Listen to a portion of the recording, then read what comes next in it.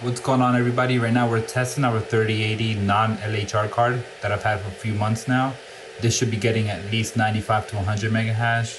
It's getting 75 with a mem temp of 110. No overclock, everything's base, even power limit set to 100. You can see here that we're having thermal issues. It's thermal throttling. And the temperatures are jumping from 100 to 106 to 110. So it's really, really hard to get this going and getting max performance out. These thermal pads I got from Amazon. I believe one's two millimeter, one is one millimeter. So we're gonna see how it improves after we address the issue here on this card. So regular 3080 from EVGA, the non-LHR card.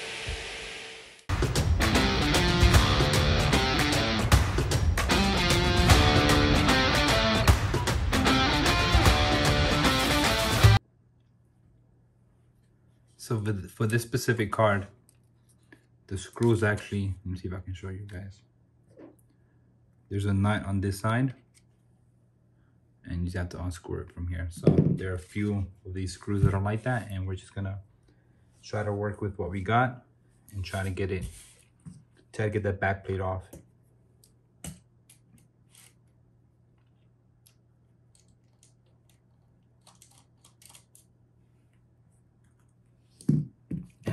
Of course, always keep your screws together.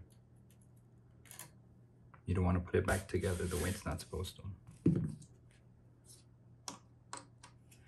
This is a warranty screw, I believe. I believe it's the warranty screw, I'm not too sure. I was I was told online that you can actually still have warranty even if you do that. But don't take my word for it. I'm I'm doing it to this card because at this point it makes more sense for me to do it.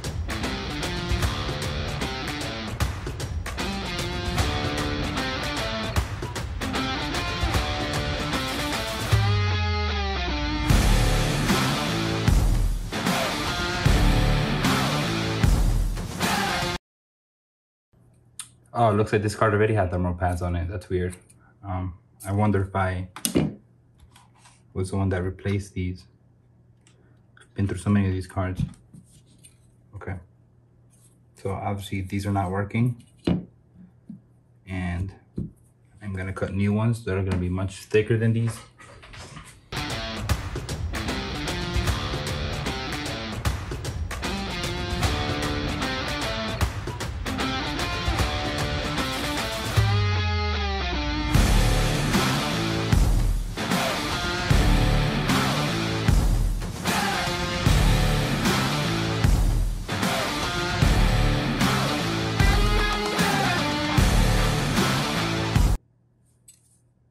So we've replaced the old thermal pads that were on here. Um, we're just gonna clean this up a little bit and I'm gonna close this back together. It is not the prettiest.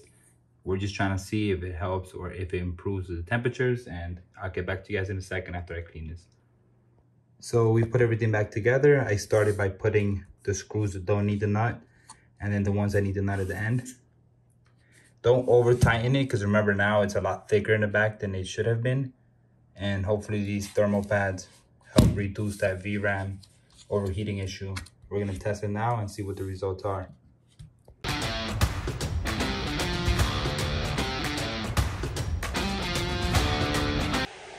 So I'm running base settings, no overclock, except for the fan at 100, and I'm getting 75 mega hash, but it is not thermal throttling on HWiNFO.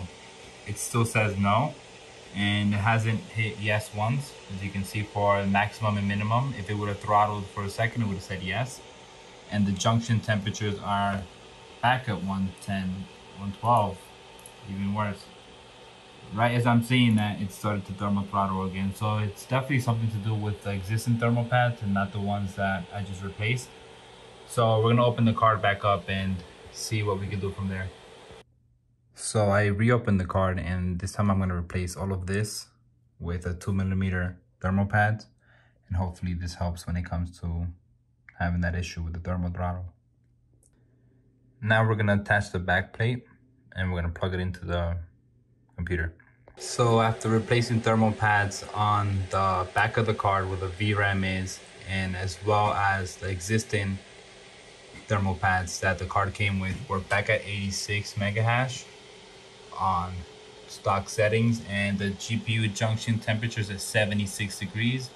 It is rising. I'm gonna come back in about five minutes to see where that junction temperature ends up at and see if it's gonna have any thermal issues. So it's been 32 minutes.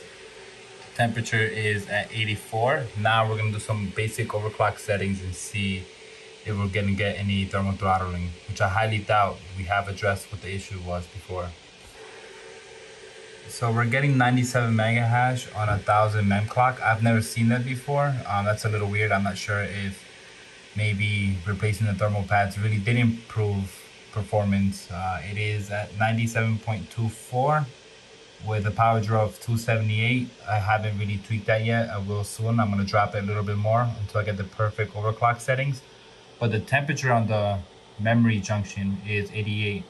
So um, hopefully it looks like it might hold on this. We'll see how much we can push this card with the right overclock settings.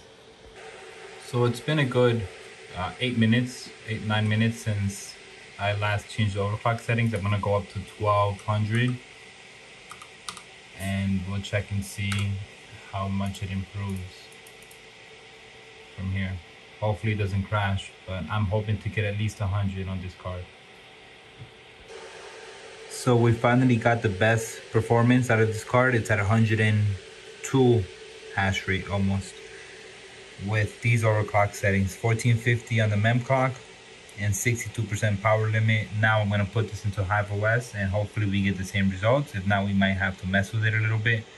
But the great thing is the junction temperature, which is the VRAM temp, is at 86 degrees Celsius instead of the 110, which it was before, and we were getting 82 mega hash. So now I'm going to address the same issue that I'm having with the rest of the cards. Let me know if you guys want me to do a video of me replacing the thermal pads on 30 3080 GPUs and we'll see if it's worth investing that much money into these thermal pads and if we can get the performance out of these cards.